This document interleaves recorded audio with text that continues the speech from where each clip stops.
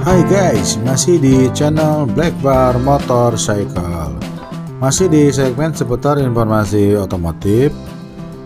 Nah guys, Benelli perkenalkan motor petualang baru yang futuristik bernama Benelli BKX 300 Motor yang bergaya adventure ini menyasar pasar generasi muda yang senang bergerak bebas dan ambil jalur yang menantang. Motor ini dibekali dengan mesin berkapasitas 292,4 cc dengan mesin teknologi baru dari Binelli dengan satu silinder berpendingin cairan.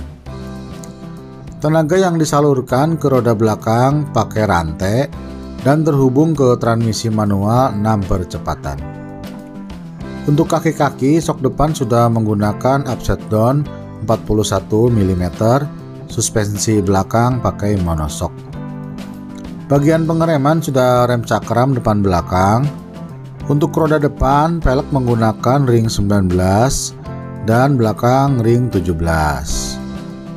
Motor ini sudah dilengkapi dengan layar LCD sebagai instrumennya, ditambah adanya colokan USB untuk mengisi daya.